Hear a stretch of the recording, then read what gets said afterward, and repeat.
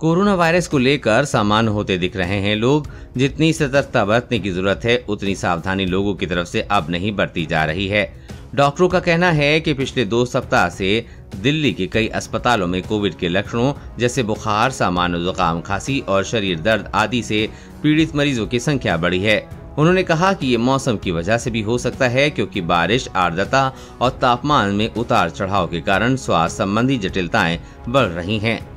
लोग नहीं करवा रहे हैं कोविड की जाँच। कई बड़ी सरकारी और निजी अस्पतालों के डॉक्टरों का कहना है कि कई मरीजों में ये लक्षण लगातार बने हुए हैं, लेकिन उन्होंने कोविड के लिए अपना आरटीपीसीआर टेस्ट नहीं कराया है।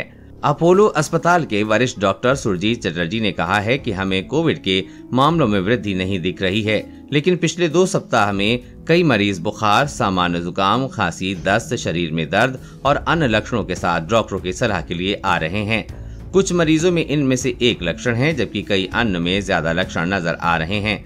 ऐसे मरीजों की संख्या बढ़ रही है, लेकिन बहुत ज़्यादा नहीं है। कोविड जैसे लक्षण होने के बावजूद आजकल बड़ी संख्या में लोग आर आरटीपीसीआर जाँच नहीं करवा रहे हैं। ऐसे मरीजों को हम कोविड की जाँच कराने को कहते हैं।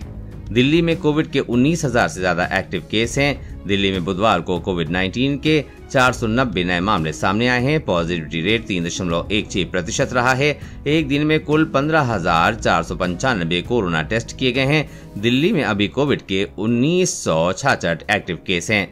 1380 मरीज़ होम आइसोलेशन में हैं। दिल्ली के अस्पतालों में कोविड मरीजों के लिए नौ हज़ार चार सौ चौरानबे बेड हैं, लेकिन सिर्फ़ 115 ही भरे हुए हैं, जो कि राहत की बात है। राष्ट्रीय राजधानी में अभी दो सौ तिरपन कंटेनमेंट जोन है।